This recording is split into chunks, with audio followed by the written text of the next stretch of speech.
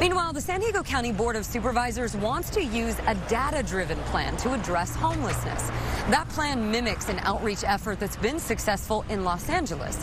It includes using digital clues to better predict who is likely to lose their home soon so officials can offer support to keep them housed.